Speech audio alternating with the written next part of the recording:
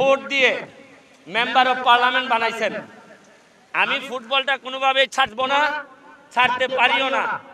আজকে আমাদের মাননীয় মেয়র আনোয়ারুজ্জামান ভাই উনার আমন্ত্রণে, উনার ছেলে এবং উনার পরিবারের সমর্থনে আজকে যে টিম লন্ডন সোল আচ্ছা তারিক খান, উনাদের যে টিম আমি আমাদের এলাকার পক্ষ থেকে আমরা উনাদের প্রতি কৃতজ্ঞতা জানাচ্ছি যে উনারা আমাদেরকে সুযোগ দিয়েছেন উনাদের বিরুদ্ধে বা উনাদের সাথে প্রতিযোগিতা করে আপনাদেরকে আনন্দ দেওয়ার জন্য।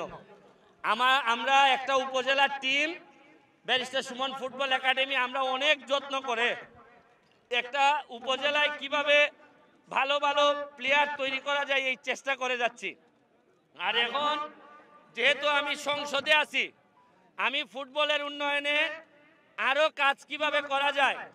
মাননীয় প্রধানমন্ত্রীকেও প্রথমই আমি যে কথা বলছি বলছি মাননীয় প্রধানমন্ত্রী, ফুটবলটাকে আমাদের আগের মতো জায়গায় ফিরাইয়া নিতে হবে।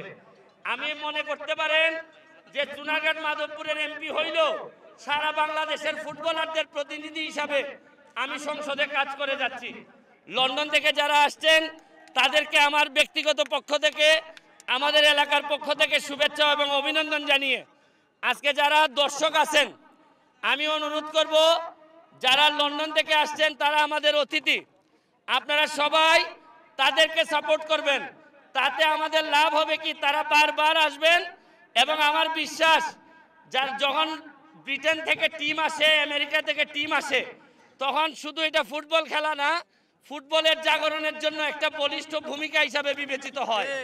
এই জন্য আমরা আশা করি তাদেরকে অতিথি হিসাবে আমরা ভালো খেলব এবং একটা ভালো খেলা উপহার দিব এবং আমাদের মেইন উদ্দেশ্য হচ্ছে গিয়ে বাংলাদেশের ফুটবলটা যেন আগের জায়গায় ফেরত যায়।